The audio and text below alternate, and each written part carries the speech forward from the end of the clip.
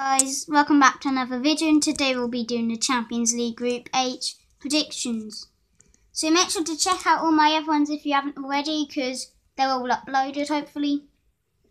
And after this video though, so watch this first. And I didn't even expect who, who I thought that a team was going to win it, but a surprise team who I thought was going to come third actually won it.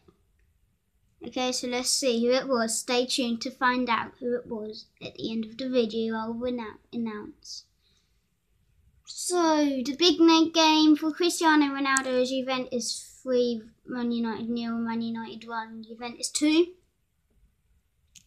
Read the rest. Out loud or in your head.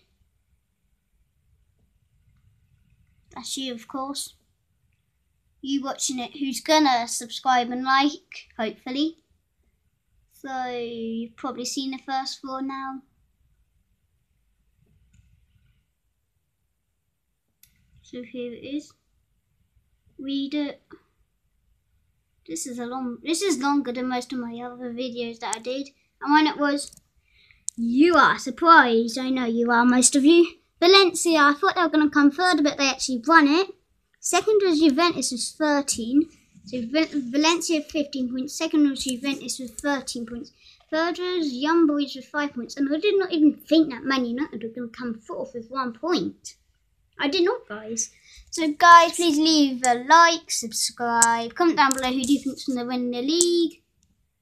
Group. I can. I should stop saying that. I thought Juventus, Man United, Valencia then Young Boys, but it turned out like that, so that's my prediction.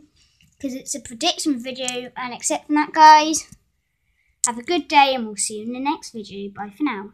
Stay tuned.